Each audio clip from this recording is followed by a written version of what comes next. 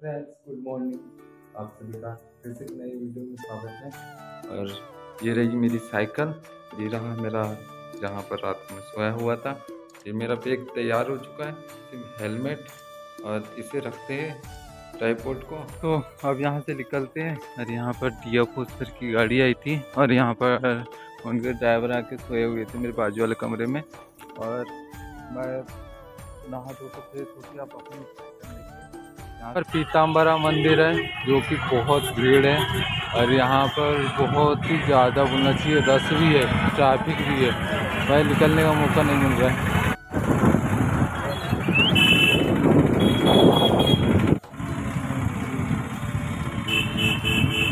ये हसीन लेक और ये हसीन तालाब है बीच में और इसी के बाजू में पीताम्बरा मंदिर है और ये जो कि ऐसा रास्ता मिल जाए ना, भाई, जल्दी पहुँच जाए। मेरे लिए सबसे बड़ा मुश्किल है शहर से निकलना, इस ट्रैफ़िक से निकलना, बहुत मुश्किल समय होता है। तो फाइनली मैं अपने बाईपास में पहुँच चुका जो कि अपने जो रास्ता जाने, उस बाईपास में पहुँच चुके बहुत खुशी हो रही है, क्योंकि ट्रैफ़िक से बहुत सामना किया हूँ। और बस इस हाईवे में चलना, इस ब्रिज में चलना है और सीधे निकलना। है तो फाइनली अभी मैं अपने हाईवे में निकल के बहुत मज़ा आ रहा है, जो कि रास्ता बहुत खाली है और रिंग रोड चल रही है इसलिए खाली है, वरना ये भी भरा रहता है। और अभी सुबह का टाइम है, खींचते हैं दबा के। सुबह के टाइम में सफ़र कैसे करते कुछ समझ में नहीं आता। इसलिए सुबह के टाइम में साइकिलिंग करना मुझे बहुत पसंद है। और दोपहर में बारह, ग्यारह, बारह बजे भाई साहब, गर्मी के मारे ना हालत ख़राब हो जाती है और साइकिल चलाने में मज़ा नहीं आता। ओए होए। मुझे अकेले साइकिल चलाने का मज़ा क्यों आता बताओ? मन मर्ज़ी के मालिक होते, जब चाहे जहाँ चाहे जा सकते हैं। ओ तेरी, देखो यहाँ कितना ट्रैफ़िक है। भाई उस साइड भी ट्रैफ़िक इधर भी ट्रैफ़िक जाए तो जाए, कहाँ? अपन तो निकल जाएँगे, अपने तो धनो है, साइकिल है। कहीं से भी उठा के निकाल लेंगे अपन। लेकिन इनका क्या होगा, मामू?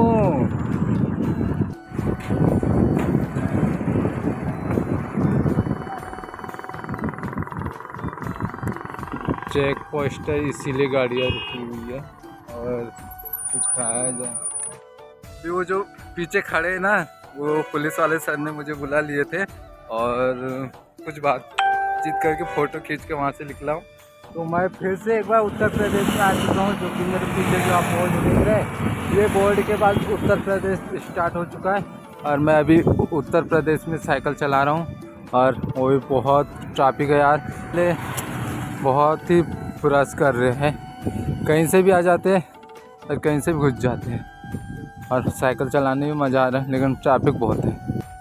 हसीन वादियों को देख के मैं हमेशा रुक जाता हूँ। और देख रहे ट्रैफ़िक बहुत ज़्यादा ट्रैफ़िक है। साची सागर, शिवपुरी। देख रहे साची सागर, शिवपुरी, जो कि सीधा शिवपुरी, सागर भी इधर इधर। और मुझे सीधा जाना करीबन आठ किलोमीटर, जिनके यहाँ मुझे रुकना है, और जिनसे मुझे मिलना है आज। रोड में हूँ, क्योंकि उसमें ट्रैफ़िक बहुत चल रही है, इसलिए मैं रिंग रोड पे आया हूँ, और इसमें ट्रैफ़िक कम है बट मुझे उसी में जाना है। जाना पड़ेगा क्योंकि वहीं जाके मिलेगी। शिवपुरी के लिए कट गया। शहर के अंदर। तो मोबाइल में गूगल मैप खोल रखा है और लोकेशन का पता कर रहा था इसलिए मेरा मोबाइल बहुत बोल रहा है टेन टेन आपको इधर जाना है। लेफ़्ट बोल रहा है कभी राइट बोल रहा है कभी हंड्रेड मीटर कभी कुछ बोल रहा है। मैनेज कीजिएगा क्योंकि बिना लोकेशन के मैं तो जा नहीं पाऊँगा। और रोड पे भैंस कितनी सारी भैंस है। और खाली खाली रोड नहीं है, पूरी भरी हुई है। भाई साहब, सिंगाड़े, केला फली सेब सीताफल क्या क्या क्या कर दिए? देखिए, शहर के अंदर यही है। कहीं नाली खोदेंगे तो कहीं कुछ करेंगे। और रोड की रैया मैया करेंगे। भाई बहुत दुख होता है जब ऐसा रास्ता मिलता है। तो कचरा। ओहो देख के बहुत दुख होता है। रानी लक्ष्मी भाई का शहर का व्यू और यहाँ चलाने में बहुत मज़ा आ रहा है अभी।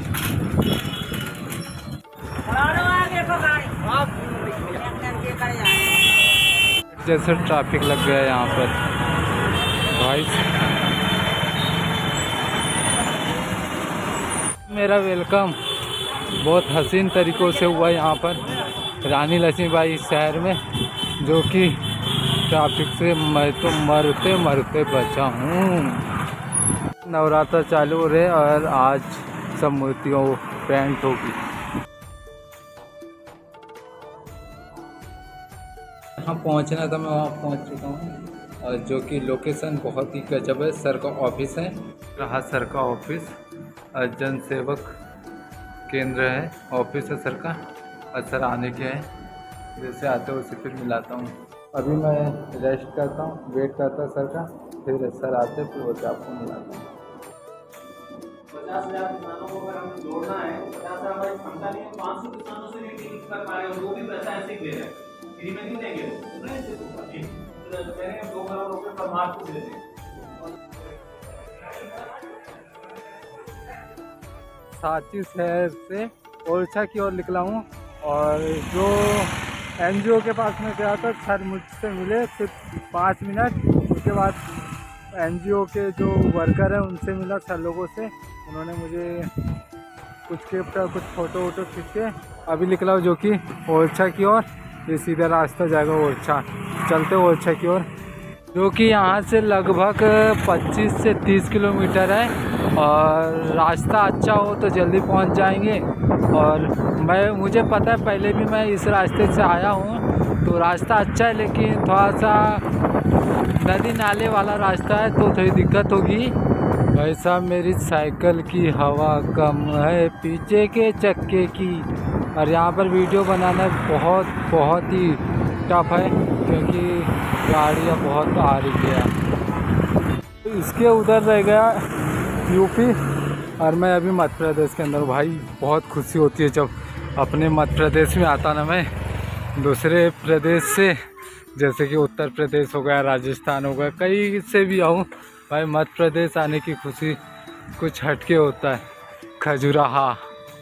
अब मुझे अच्छा आना है, जो कि और अच्छा मुझे इधर जाना, जो कि ये ओरछा जाएगा और ये रानी लक्ष्मीबाई जो कि सांची जाएगा और इस साइड जाएगा छतरपुर और पृथ्वीपुर, ऐसा कुछ है।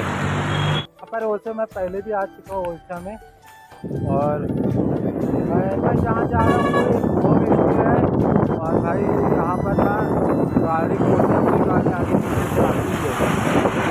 बस आई और देख माखू कैसे देख रहे हैं बस वाला। भाई, साहब। पुल है यहाँ का, और नीचे पूरा गंदा पानी है। जैसे ही मैं एमपी के अंदर घुसा ना, भाई, मुझे जंगल देखने को मिला। और जंगल में जो हरियाली है, और जो ठंडी ठंडी हवा है, ओ भाई, खूबसूरत। ओरछा के बाद ये बोलना चाहिए ओरछा के बाद आएगा छतरपुर। छतरपुर के बाद पन्ना। भाई, इधर तो मेरा स्वागत ही है। ऐसा लग रहा है मेरी साइकिल के पीछे के चक्के में ना हवा कम है या भाई पंचर तो नहीं हुई। हवा दिलवाना पड़ेगा। और साइकिल चगी नहीं रही है।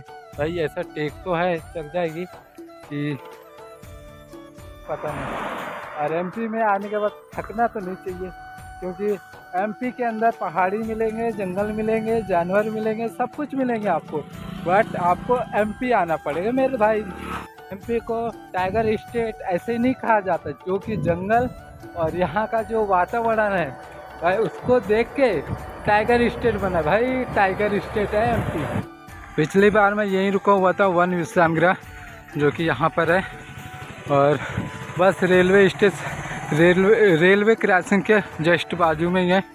और इधर है ओरछा और भाई यहाँ रुका हुआ था पिछली बार मैं। नहीं, रुक रहा, कहीं और जाके रुक रहा, क्योंकि इस बार होम स्टे में रुक रहा, वो भी किसी के घर में। मेरा मोबाइल चार्ज नहीं है, मेरा मोबाइल कभी भी स्विच ऑफ़ हो सकता है, क्योंकि चार्जर है पावर बैंक लेकिन वो पैक के अंदर है। पिछली बार मैं ये इसके रास्ते से घुस गया था अंदर, और जो सर ने मुझे लोकेशन पहुँचाया था ना, वो जंगल घूमने गए थे तो मैं जंगल के अंदर घुस गया था। तब मुझे मैं जंगल के अंदर पहुँच गया था क्योंकि सर, जंगल के अंदर गए थे लोकेशन लाइव लोकेशन शेयर कर दिए थे। तो मैं सर का पीछा करते करते जंगल के अंदर घुस गया था। फिर रिटर्न आके फिर वो रेस्ट हाउस पे रुका हुआ था। पहुँच चुका हूँ मैं ओरछा और भाई मेरा मोबाइल की बैटरी कम है चार्जिंग कम है। तो पहले मैं लोकेशन में पहुँचता हूँ। ताकि जो हसीन गलियाँ है ना, वो बहुत ही सुंदर है। बट थोड़ा सा डेंजर इसलिए है क्योंकि यहाँ पर ट्रैफ़िक बहुत चलता है। और बहुत सुंदर है ओछा विलेज जो कि एक किलोमीटर बट ओछा वहीं से चालू हुआ है। और यहाँ से तो पुराना रिश्ता है मेरा। सामने दिख रहे झाड़ के ऊपर वही है ओछा मंदिर। सर का दौरा था इसलिए बहुत लंबी पुलिस लाइन गेट। और वो रहा Take the सामने. भाई गूगल में बोल रहा है, कोई दिक्कत नहीं है। वो रहा सामने मंदिर छका मंदिर। बहुत प्राचीन मंदिर है और बहुत पुराना मंदिर है। भाई, रुक नहीं सकते क्योंकि मेरी साइकिल को देखने वाला कोई नहीं है। साइकिल में सामान लगे थे पूरा।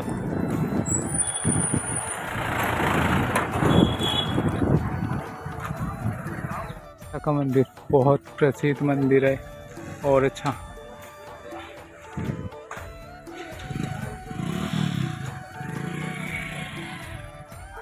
मैं मध्य प्रदेश साइकिल यात्रा कर रहा था ना, इस स्कूल में एक पौधा लगाया था और स्कूलों के बच्चों से बात किया था। तीन वादी है यार। हाँ हाँ। ओहो। पहाड़ी में जगह थका दिया था। रहा सामने कोलछा का मंदिर, जो कि वो दिख रहा है। जूम किया हूँ और पता नहीं दिख पा रहा कि नहीं। वही मंदिर है। ये यार। भाई, कितना पुराना है ये। ओ भाई। अल्लाह। पावर बैंक फंसा के अब निकलता हूँ आगे, जो कि यहाँ से दो दो से तीन किलोमीटर रह गया है। ये हालत देख रहे पूरे पसीने मारे गिला हुआ है।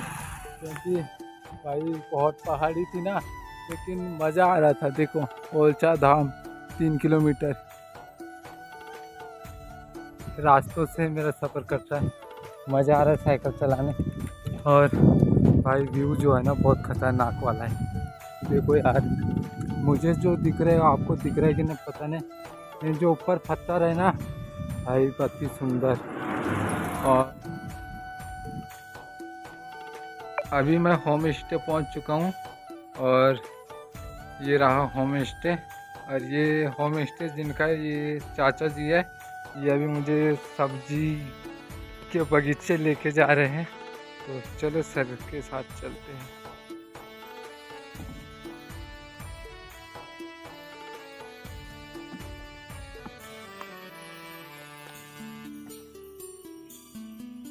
तो आज मैं इस होम स्टे में रुकूँगा और तो आज का वीडियो यहीं समाप्त करते आई होप आप लोगों को आज का वीडियो पसंद आएगा।